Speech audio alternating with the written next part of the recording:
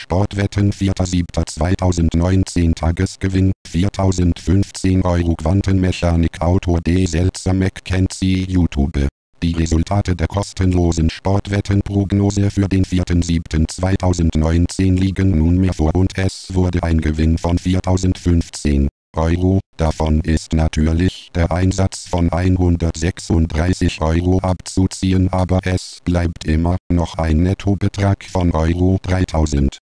Es hat auch hier wieder mal gezeigt, es hat sich gelohnt immer auf Heimsieg und Auswärtssieg zu setzen so ist der hohe Gewinn zusammengekommen. Nur so kann man eben vorteilhaft wetten und gewinnen. Donnerstag 4.7.2019 Cardiff Erde Korn 1 und 2 2 zu 1 4 Euro 4 Euro Engo Dani Fiorita 1 und 2 2 1 1 Euro 75 7 Euro Chile Peru 1 und 2 0 zu 3 4 Euro 28 Euro City Seattle 1 und 2 3 zu 0 1 Euro 65 46 Euro 20 Orlando Philadelphia 1 und 2 1 zu 3 2 Euro 55 117 Euro 81 Chicago Atlanta 1 und 2 5 zu 1 2 Euro 20 259 Euro 18 Minnesota San Jose 1 und 2 3 zu 1 1 Euro 85 479 Euro 49 Kansas City Los Angeles 1 und 2 1 zu 5 2 Euro 15 1030,90 Euro Houston NY